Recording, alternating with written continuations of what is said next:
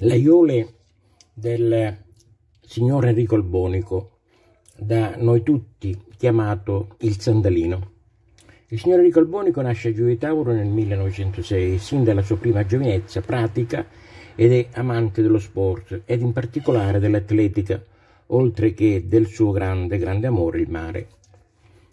Oltre quindi all'atletica leggera che pratica con molto impegno a livello agonistico regionale, salto in lungo, triplo, salto in alto, si lascia affascinare sempre più del mare e si forma alla scuola del capitano Vincenzo Patania, vecchio lupo di mare, capitano dei velieri del suo papà, che dalla fine dell'Ottocento e prima del Novecento trasportavano materiali per l'edilizia da Napoli, Messina ed altri porti a Gioia Tauro, ove svolgeva una grossa attività commerciale.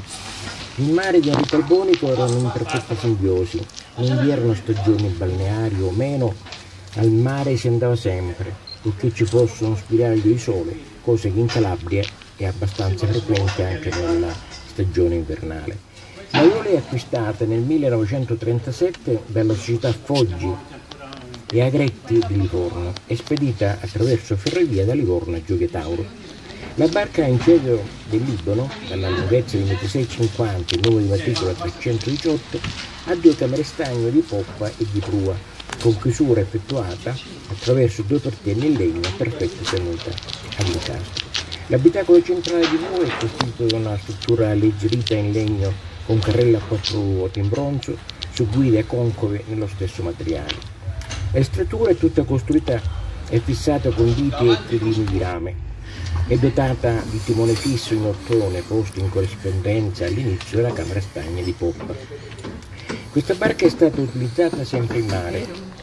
E da Giulia Tauro le mette più usuali sono state oltre a quelle del Golfo di Giulia Tauro, Capo Vaticano, Marina di Cotra, Marina di Palma, oltre a mete un po' più lontane quali Marina di Scilla, Marina di Cannitello, sullo stretto di Messina, ha attraversato anche lo stretto di Messina con partenza da Cannitello. La Iola è stata per tutta la famiglia allargata, figli, cugini, amici, la barca scuola per la Voga. Nell'abitacolo del carrello di Voga, accovacciati ed a poppa, sdraiati a pancia in giù, potevano essere ospitati anche due piccoli passeggeri.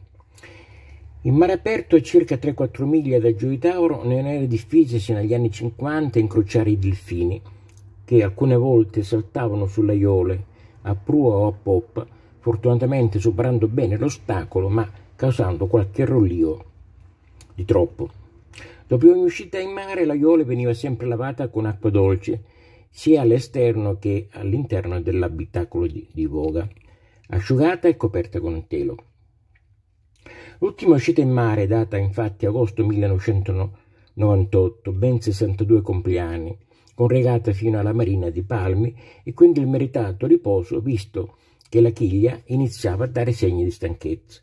Nel corso della sua lunga vita attiva, la Iole ha subito la sostituzione di qualche striscia di copertura a prua, mentre il fasciame laterale è quello originario. Di tanto in tanto è stata riverniciata.